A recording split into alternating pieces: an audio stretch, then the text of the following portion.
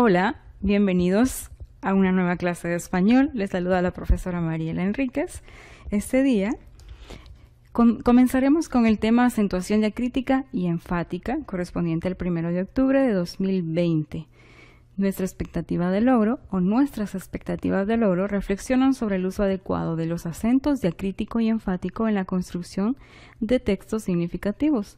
Construyen textos usando adecuadamente los acentos diacrítico y enfático. Contenido, acentuación diacrítica y enfática. Veamos las siguientes oraciones. ¿Desde cuándo Elsa no vive con Martín?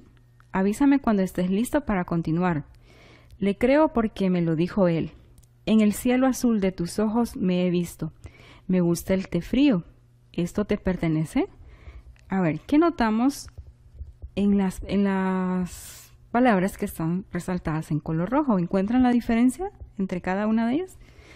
Muy bien, en que una está acentuada y la otra no, a pesar de que se escriben exactamente igual. ¿Saben cómo le llaman a este tipo de acento o de tilde? se le llama acento diacrítico. ¿Pero qué es el acento diacrítico? El acento diacrítico o tilde diacrítica es, es la tilde que se emplea para distinguir significados en pares de palabras y que frecuentemente son monosílabos.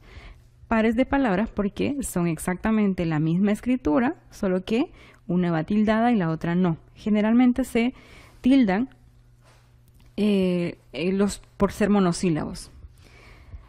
Monosílabos eh, diferenciados por la tilde diacrítica. Como regla general, las palabras eh, monosílabas nunca llevan tilde en el español, salvo las ocho que vamos a ver en esta clase, que pertenecen eh, a esas excepciones que sí van acentuadas o tildadas. Pero ¿qué son los monosílabos? Hagamos un recordatorio. Los monosílabos son aquellas palabras de una sola sílaba y eh, tienen un significado por sí solas. Veamos en el siguiente cuadro cuáles son estos monosílabos. Tenemos los monosílabos de, el, más, mi, se, si, te y tú. comencemos con de. De sin tilde es una preposición. Vengo de Alemania. Espero de pie. Espero de pie.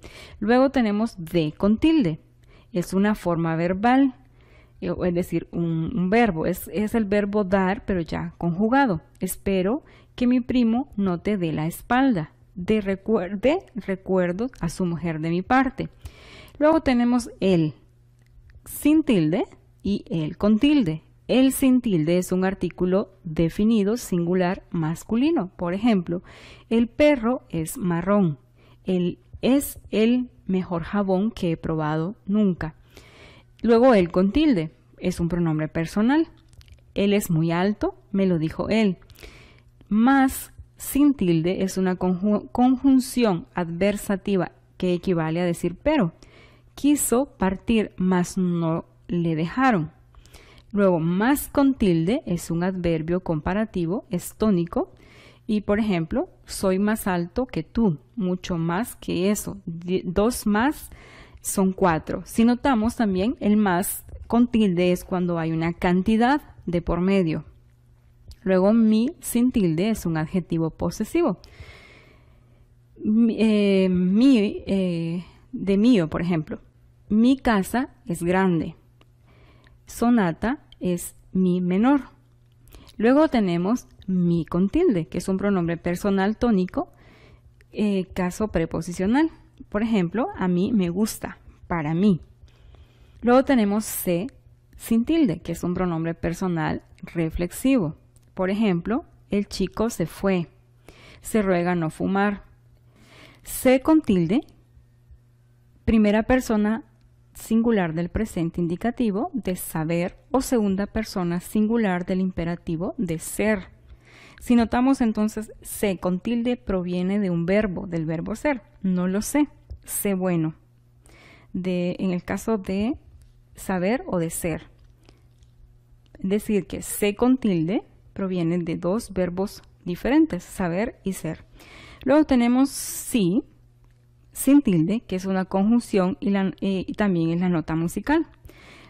Si mañana hace buen tiempo, me voy a la playa. Dime si lo, si lo hiciste.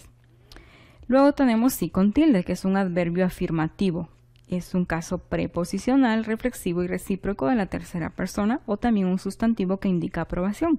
Vienes si voy. Tú sí que sabes.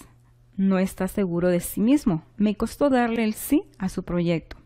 Entonces volvemos a decir sí con tilde es un adverbio o un sustantivo. Bien, y sí sin tilde es una conjunción o también la nota musical. Te sin tilde es un pronombre personal y eh, reflexivo de tú. Te vas ya, te daré el libro mañana. Luego te con tilde es un sustantivo, es el nombre de un tipo de arbusto. Voz de origen indostático. Por ejemplo, la hora del té. Es eh, un, recordemos, es el nombre de un arbusto de, un, de una planta. Luego tú, sin tilde, es un adjetivo posesivo en forma átona. Tu casa es muy grande. Y luego tú con tilde es un pronombre personal. En caso nominativo, ¿tú qué dices? Soy más alto que tú. Entonces, tú con sin tilde es un adjetivo posesivo y tú con tilde es un pronombre personal.